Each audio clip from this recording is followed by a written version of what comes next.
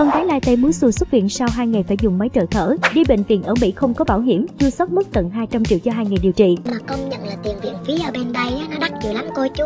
Mật ong mới nằm viện được có hai ngày thôi.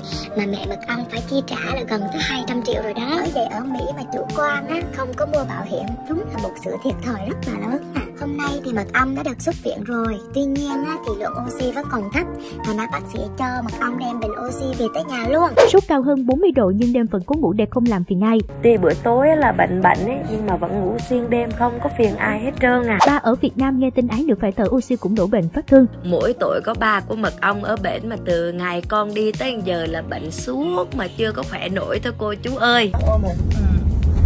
hai hai rồi hai con sống ai gì hết à? Có khi nào đoạn này biết sắp xa ba không, cô chú? Nên tự nhiên đeo quá trời đeo luôn rồi. Mới đây, Muối Xù tiếp tục cập nhật tình hình sức khỏe của ái nữ lai tây tại Mỹ. Sau 2 ngày điều trị ở bệnh viện, mật ong đã chính thức xuất viện làm mẹ yên lòng bội phần. Cô cũng không quên có vài dòng tâm sự mỏng để mọi người bớt lo lắng. Theo như tiết lộ từ Muối Xù, chi phí điều trị sức khỏe tại Mỹ khá đắt đỏ khi mật ong nằm viện chỉ 2 ngày đã mất hơn 200 triệu. Nhưng bù lại cơ sở vật chất và bác sĩ tại đây khá chất lượng. Do hưởng được dịch vụ tốt nhất mà thiên thần nhí nhanh chóng lấy lại sức khỏe, năng lượng vốn có. Mật ong cũng là em bé hiểu chuyện. Dù ấm sốt gần 40 độ nhưng thiên thần nhí vẫn im lặng và trộn phí ăn ngủ ngon lành lúc đêm khuya để người chăm không cực nhọc. Con gái lai tây của Muối Xù được cả gia đình nhà ngoại thay nhau chăm sóc, ấm bồng những ngày nhập viện. Về phía Bi Bảo ở Việt Nam cũng đứng ngồi không yên khi nghe tin về con gái. Ông xã tóc tóc cơ lo lắng đến độ đổ bệnh vì chẳng thể kề cạnh nhóc từ lúc nguy hiểm. Từ đó thấy được anh yêu thương và quan tâm vợ con như thế nào. Trước đấy, mật ông khiến dân tình lo lắng vì tình hình sức khỏe không được tốt. Cụ thể, trên trang cá nhân, Muối Xù vừa chia sẻ là khoảnh khắc đưa ái nữ lai tây nhập viện cấp cứu. Thiên thần nhí liên tục nhõng nhẽo, khó chịu trong cơ thể và sốt cao tận 40 độ nên được người nhà cấp tốc đưa đi bệnh viện. Rất nhanh sau đó, nhóc thì phải vào phòng cấp cứu làm đến sinh thành lo sốc vó.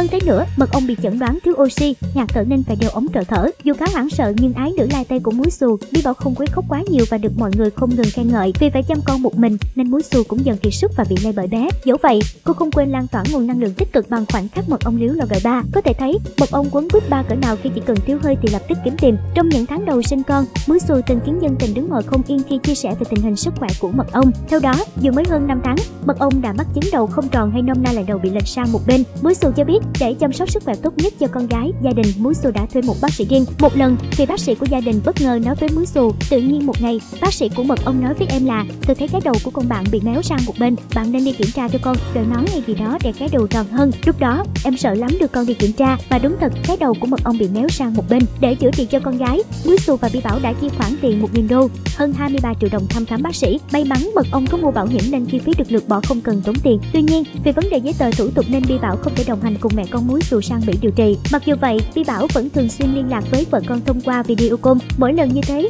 mật ông rất vui vẻ tương tác với Bi Bảo. Nhớ bấm nút theo dõi kênh nhé